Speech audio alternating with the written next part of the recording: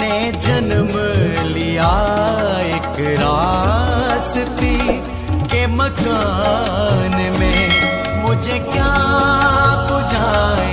कि